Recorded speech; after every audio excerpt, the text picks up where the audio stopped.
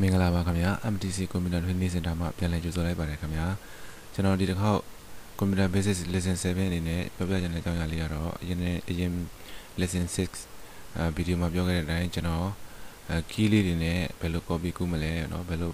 အဲဘယ်လိုဘယ်လိုလုပ်မလဲဆိုတဲ့အကြောင်းလေးတွေပေါ့နော် control A control C control V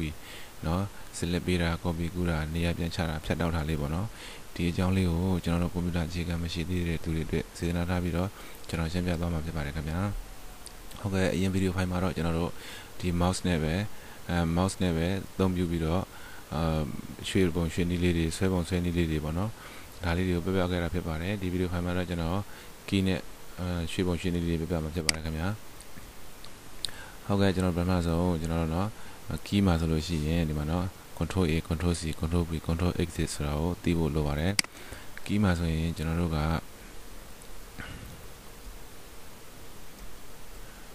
keyboard မှာဆိုလို့ရှိရင်ကျွန်တော်တို့ကဒီ key လေးကို control လို့ခေါ်ပါတယ်เนาะ control ကတစ်ဖက်ကိုတစ်ခုရှိပါတယ်နောက်တစ်ခါဒါလေးကို shift key လို့ခေါ်တယ် shift key ကလည်းတစ်ဖက်မှာတစ်ခုရှိတယ်เนาะ ဒါပေမဲ့ဒီအခုပြောမယ့် lesson မှာတော့ control ကတော့အဓိကသိရမယ့်အရာလေးပေါ့နော် control ရယ်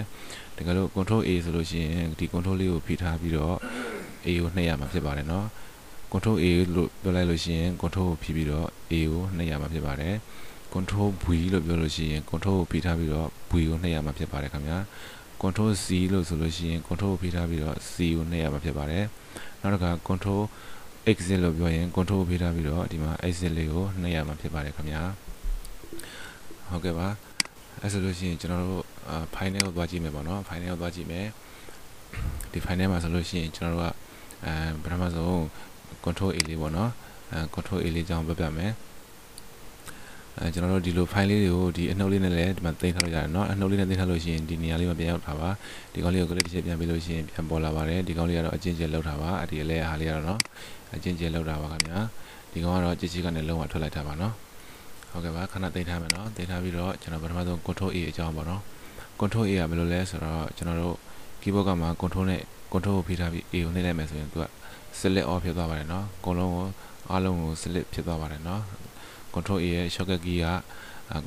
select all ပါเนาะပြီးလို့ရှိရင်ကျွန်တော်တို့ကဒီ file လေး select ပေးပြီးသွားပြီဘယ်နေရာမှာရွှေ့ရွှေ့လို့ရပါတယ်ရွှေ့မယ်ဆိုလို့ရှိရင်လည်းပဲအဲဘယ်လိုရွှေ့မလဲဆိုတော့ဒီ mouse နဲ့ဆွဲပြီးတော့မဆွေးမရွှေ့ချင်ဘူးဆိုလို့ရှိရင် keyboard ကနေပြီးတော့ကျွန်တော်တို့က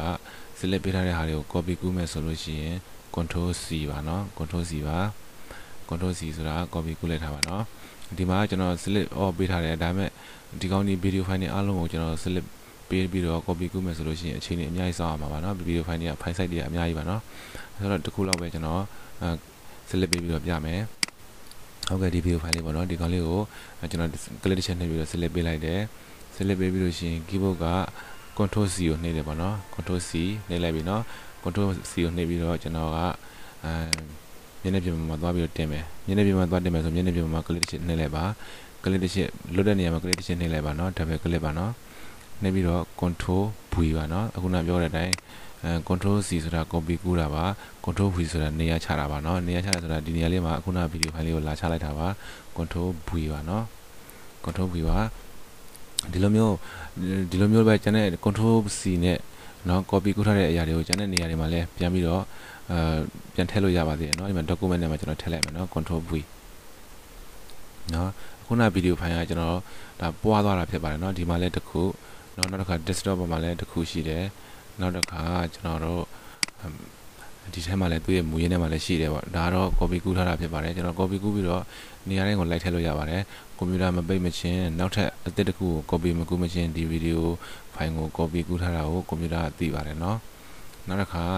နောက်ဆုံးတစ်ခုအနေနဲ့ဘာပြောချင်လဲဆိုတော့နောက်တစ်ဆုံးတစ်ခုအနေနဲ့ control exit ပေါ့နော် control exit မှာကျတော့ control exit ကဖြတ်တောက်တာဖြစ်ပါတယ် ဆိုကြပါစို့ကျွန်တော်ဒီမှာဒီကောင်လေးတစ်ခု click တစ်ချက်နှိပ်ပြီး select ပေးလိုက်မယ် keyboard က control နဲ့ exit ကိုနှိပ်လိုက်မယ်နော်နှိပ်လိုက်ပြီဆိုရင်ဒီကောင်လေးကိုဖြတ်လိုက်တာဖြစ်ပါတယ်အဲကျန်တဲ့နေရာမှာ control က control exit နော် control exit ဟုတ်ပြီကျန်တဲ့ဒီမှာ video file ထဲမှာ click ချက်နှိပ်ပြီးတော့သွားထည့်လိုက်မယ် control V နော်ခုနကကျွန်တော်ကအဲ control exit နဲ့ကကြီးနဲ့ညှက်ထားလိုက်တာပေါ့နော်သူကတော့ကကြီးနဲ့ညှက်တယ်လို့လည်းသုံးလို့ရတယ်ပေါ့အဲ ဖြတ်လိုက်တာပေါ့ဖြတ်တောက်လိုက်တဲ့ဟာလေးကဒီမှာမရှိတော့ဘူးနော်အဲဒီဗီဒီယိုဖိုင်တစ်ခုကိုထပ်ပြီးတော့စမ်းပြအောင်မယ်နော်ဒီမှာ click တစ်ချက်ပေးလိုက်တယ် control နှိပ်ပြီးတော့ exit ကိုနှိပ်တယ်နေပြီးလို့ရှိရင်ကျွန်တော်ပစ်ချထဲမှာသွားထည့်မယ်ပစ်ချကိုတစ်ချက်နှိပ်ဒီမှာတစ်ချက်နှိပ်နောက်ဒီလွတ်တဲ့နေရာမှာတစ်ချက်နှိပ်ပြီးရင် control V control V ဆိုတာနေရာပြန်ချတာပါနော်အဲနေရာပြန်ချတာပါနော်ဒီလိုမျိုးလေးဒီလိုမျိုးလေးပါနော် ဒါတော့ control exit ပါနော် control exit ဆိုတာခုနကကျွန်တော်ပြောသလိုမူရင်းနေရာမှာမကြမ်းခဲ့တော့ဘူးเนาะဒီနားလေးမှာခုနကအဲကျွန်တော်ကိုလိုက်တဲ့တခြားတဲ့ video file လေးဟာအရင်သူ့ရဲ့နေရာမှာဒီနားလေးမှာရှိတာအခုမရှိတော့ဘူးဒါကတော့ control exit ရဲ့သဘောเนาะ control exit ဆိုတာကဖြတ်တောက်လိုက်တာပါမူရင်းနေရာမှာ control exit ကိုနှိပ်မယ်ဆိုရင်မူရင်းနေရာမှာမကြမ်းတော့ဘူးဖြတ်တောက်လိုက်တာဖြစ်ပါတယ် အဲ control V ဆိုတာနေရာချတာ control C ဆိုတာ copy ကူတာ control A ဆိုတာ select ပေးတာပါခင်ဗျာဟုတ်ကဲ့အားလုံးနားလည်လိမ့်မယ်လို့ကျွန်တော်မျှော်လင့်ပါတယ်ခင်ဗျာနောက်ထပ် lesson တွေမှာလည်းပြန်လည်ဆုံတွေ့ချင်ပါသေးတယ်ခင်ဗျာကျွန်တော်ကျွန်တော်တို့ဒီ MDC Facebook page လေးကကျွန်တော်တို့ညီကိုမောင်နှမများရဲ့ကွန်ပျူတာခက်ခဲလေးတွေကိုလည်းအဲဖြည့်ရှင်းပေးပါတယ်ခင်ဗျာကျွန်တော်တို့ message box ကဖြစ်ဖြစ် comment box ကဖြစ်ဖြစ်ပေါ့ကျွန်တော်တို့ရဲ့အဲကွန်ပျူတာ MDC ကွန်ပျူတာ training center ပေးကဖြစ်ဖြစ်ဒီ comment box ကဖြစ်ဖြစ်လှမ်းပြီးတော့မေးနိုင်ပါတယ်ခင်ဗျာအားလုံးကျေးဇူးတင်ပါတယ်ခင်ဗျာ